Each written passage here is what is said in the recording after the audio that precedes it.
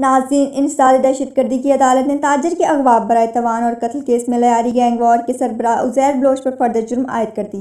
मुजरिम उजैर बलोच ने सेहत जुर्म से इनकार कर दिया। अदालत ने आइंदा समात पर गवाहान को पेश करने का हुक्म दे दिया है। तफसीत के मुताबिक इंसदादी दहशत गर्दी की अदालत में लयारी गैंग वॉर के सरबरा उजैर बलोच के खिलाफ ताजर के अगवा बर तवान और कत्ल केस की समात हुई। उजैर बलोच को सख्त सिक्योरिटी में चेहरा ढांप कर और हाथों में हथकड़ी लगाकर पेश किया गया। कमरा अदालत पेशी के दौरान फाजिल जज ने मुजरिम को फर्द जुर्म पढ़कर सुनाया। अदालत ने कहा, आप पर अब्दुल समद के अगवा बर तवान और कत्ल का इल्ज़ाम है। दस लाख रुपए तवान तलब किया और सत्तर हज़ार रुपये लेने के बावजूद मुवी को कत्ल किया। क्या आप अपना जुर्म कबूल करते हैं? अदालत ने उजैर बलोच पर फर्द जुर्म आयद कर दी। जिस पर कटहरे में मौजूद उजैर बलोच ने नफ़ी में सर हिलाकर सेहत जुर्म से इनकार कर दिया। अदालत ने मुजरिम के इनकार पर आईओ और गवाहान को नोटिस जारी कर दिया और आइंदा समात पर गवाहान को पेश करने का हुक्म देते हुए समात को मुलतवी कर दिया। ख्याल रहे मुजरिम की पेशी पर सेंट्रल जेल में कायम एटीसी में रेंजर्स की भारी नफरी तैनात थी।